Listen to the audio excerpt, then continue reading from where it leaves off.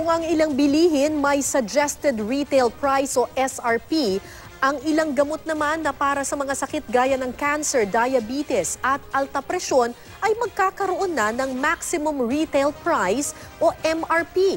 Pero inaalmahan yan ng ilang pharmaceutical group. Nagkatutok si Tina Panganiban Perez. Hindi biro ang magkasakit lalo na kung malaking pondo ang kailangan para sa mga gamot. Ayon sa Department of Health, sa mahigit 4,000 gamot sa bansa, mahigit kalahati ang napakalaki raw ang patong.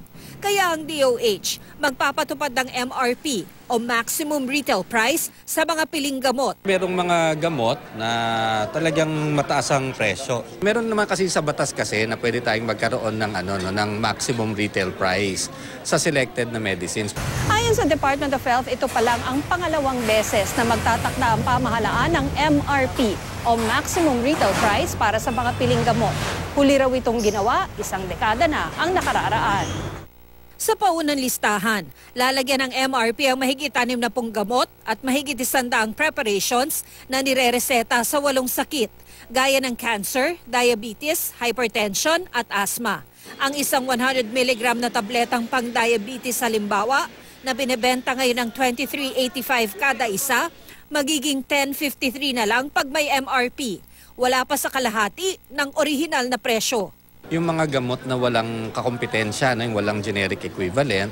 Tapos pag tiningnan natin, yung presyo niya sa Pilipinas, masyadong mataas compared sa presyo sa ibang bansa na similar ang economic status sa the Philippines.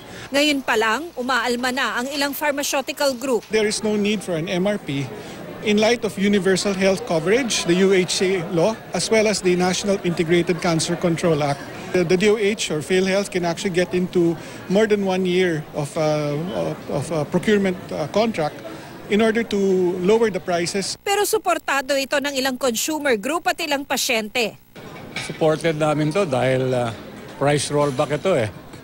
Base sa presentation today, at least 40%. Bilang isang breast cancer survivor, uh, pabor po ako sa MRP. Alam naman po natin, napaka-catastrophic po kasi ng financial uh, impact ng, ng breast cancer sa mga pamilya ng mga pasyente.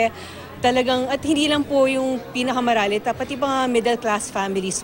Tiniyak ng DOH na babalansihin lahat. Meron pa rin naman siyempre yung tubot. ang ang end na makikinabang po sa MRP ay sino?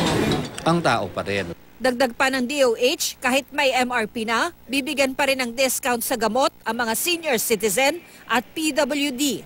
Di rin daw magbabago ang kalidad ng mga gamot. Hindi affected dito ang ating regulation. So ang pag-register ng produkto sa FDA, ang testing nito at saka yung standards natin hindi bababa.